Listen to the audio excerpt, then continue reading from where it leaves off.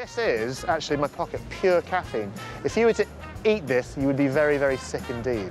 But do you know how much caffeine is actually in your food and drink? We're going to play a little game of play cards, right?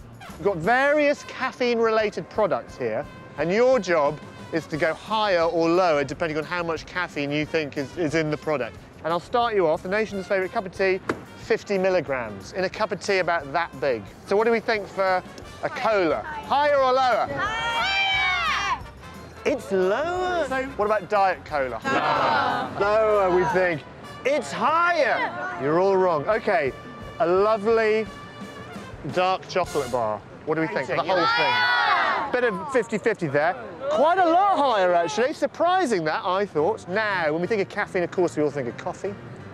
Yeah, what do we think? Higher than 100 milligrams? For a mug that size of filter coffee, it's not instant. Who thinks higher? It's higher. Now, strong paracetamol, the extra kind, for eight of those bad boys, which is your maximum daily dose. Most people think higher. It is, amazingly, a whacking 520 milligrams. That's a lot. Who knew that? This is one of these sort of uh, energy drinks. Higher than the paracetamol or lower? Higher. Lower! You get tonight's star prize, which is a handshake from me. And what about the espresso, which you might have after your meal or in the morning? Higher than 80. It's lower than 80. So you all did pretty badly, I reckon. You're all pretty rubbish. We all know caffeine can give us a boost when we need it, but do you know why it does that?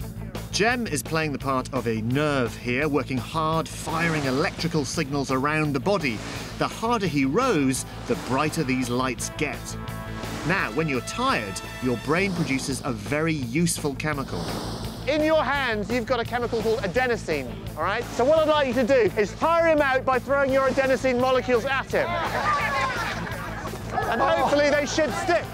When adenosine attaches, the nerve slows down, making your muscles and brain slow down and making you sleepy. But when you've had a caffeine hit, Now, here's the thing. Caffeine molecule, yeah, is a similar shape to the adenosine molecule. They bind on and block the receptors on the neuron here, like this.